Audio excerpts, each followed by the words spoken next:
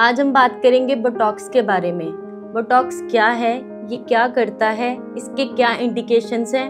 और इसके क्या साइड इफेक्ट्स हो सकते हैं? बोटेक्स एक टॉक्सिन है जो मसल्स को रिलैक्स करने में हेल्प करता है। इसकी कुछ कंट्रोल्ड मात्रा में अगर हम इसको यूज़ करते हैं तो इसके मेडिकली और कॉस्मेटिक पर्पस में ये यूज़ किया जाता है। कॉस्मेटिक्स में बोटॉक्स को हम फेस रिंकल्स के लिए यूज़ करते हैं। और फेस की कंटोरिंग के लिए यूज़ करते हैं। बात करें रिंकल्स की तो कईयों की स्माइल लाइंस होती हैं, जिसको छुपाने के लिए वो बोटॉक्स को यूज़ करते हैं। कईयों को आँखों की साइड पे क्रॉस फीट जैसी चीज़ें बन जाती हैं, जिसमें बोटॉक्स को यूज़ करके मसल को रिलैक्स करके बिल्कुल उसको पहले की तरह बना देते हैं। कईयों के फोरहेड पे रिंकल्स हो जाते हैं, जिसको बोटॉक्स यूज़ कर कर बिल्कुल वैनिश किया जा सकता है। फेस कंटोरिंग में कईयों को डबल चिन की समस्या होती है सो बोटॉक्स की सहायता से हम फेस को इस हिसाब से कंटोर करते हैं कि डबल चिन को बहुत हद तक रिड्यूस करके फेस को एक डेफिनेशन और शेप दी जाती है,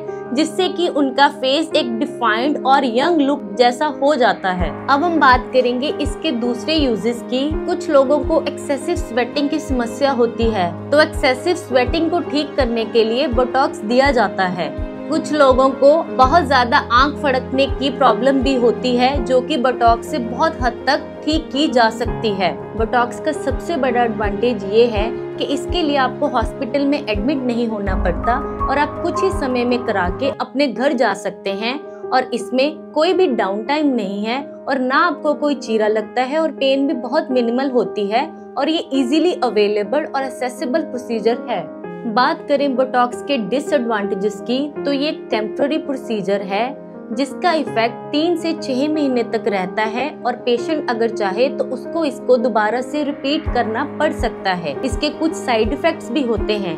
अगर इसको हम ओवर यूज़ करते हैं तो इससे स्किन अननेचुरल दिख सकती है। इसके कुछ एलर्जिक रिएक्शंस की वजह से इसका एक और डिसएडवांटेज है कि इसको एक स्किल्ड एडमिनिस्ट्रेशन के अंडर ही हम करवा सकते हैं। लास्ट में बात करेंगे बोटॉक्स की कॉस्ट की। तो इसमें इंजेक्शन इन्वॉल्व है, जिसकी कॉस्ट कुछ ज़्यादा होती है। सो पेशेंट को कॉस्ट ध्यान में रख के ही ये प्रोसीजर करवाना पड़ता है। Hope this video was useful to you so if you like it kindly subscribe share and like our video thank you